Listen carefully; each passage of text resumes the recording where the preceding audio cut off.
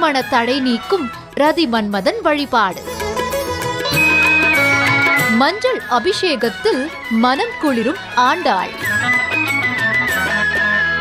வேண்டும் வரம் நல்கும் திண்டுக்கல் தாடிக்கொம்பு அருள்மிகு ஸ்ரீ கல்யாண சவுந்தரவல்லி சமேத ஸ்ரீ சவுந்தர பெருமாள் திருக்கோவில் ஆண்டாள் அபிஷேகம் மற்றும் ஆலய தரிசனம்.